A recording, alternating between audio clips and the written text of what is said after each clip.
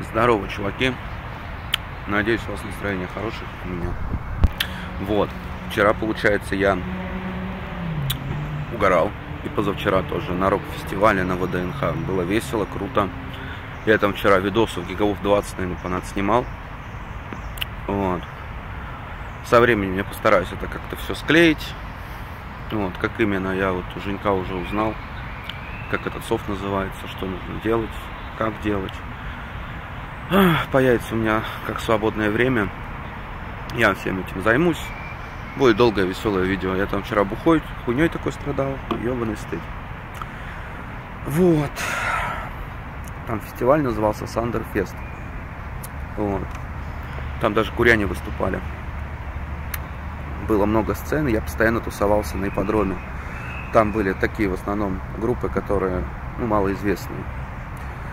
Хардлайнер был Черный обелиск.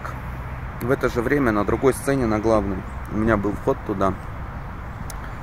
А, выступал трибют на Pink Floyd. Вот, симфоническим оркестром, все дела.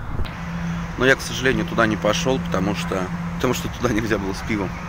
То, что там нужно было как дураку сидеть. То есть нельзя было стоять, тусоваться, угорать. Вот. Сейчас у меня утро недоброе.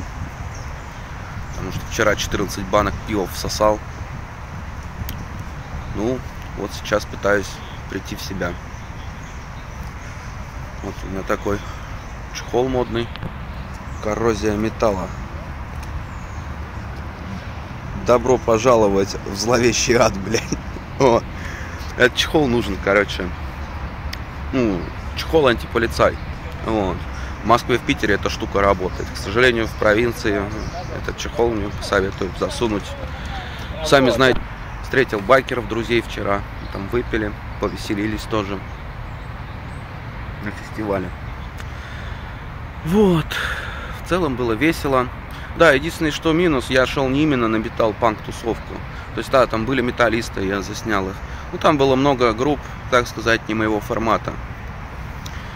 Вот, поэтому иногда приходилось не тусить, так сказать. Ну, тусить, но где-то в другом месте.